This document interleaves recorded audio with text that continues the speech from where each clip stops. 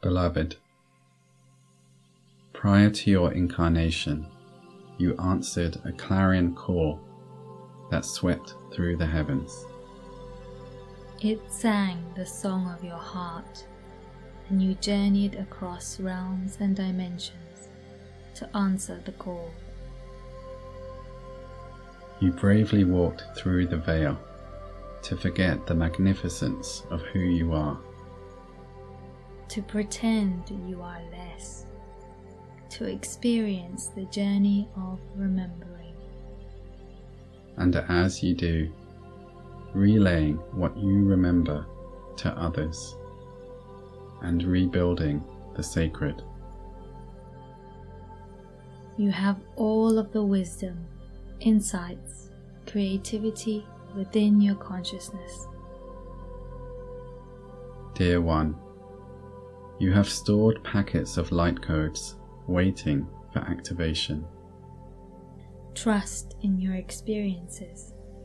Every single one is carefully designed to bring you closer to your truth and compassion, to awaken your sovereignty. It is a journey of owning one of your most sacred gifts free will.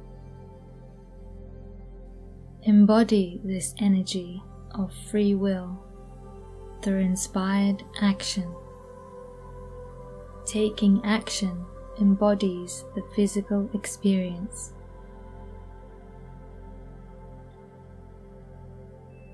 You have played the game of pretending to be small, of pretending to be less, of pretending to be unworthy for long enough.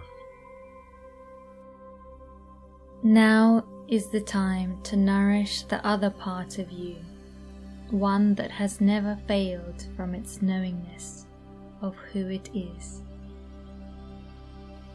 This is a time of shifting your perception of who you think you are and begin nurturing the magnificent side of you. It is only through radiating your light, the greatest, that others can be inspired to do the same. Dear one, it is not egoic to be in your power, your light, your brightness. Let go of these ideas. They do not serve creation. The planet needs you to own your light so you can take action to serve and protect. A vulnerable and pure consciousness that is emerging. You are the guardians of the earth and of humanity's awakening. The big picture may seem too big. Begin small wherever you are. It is less about how many and more about how deeply. Begin somewhere and keep moving forward. Embrace who you are.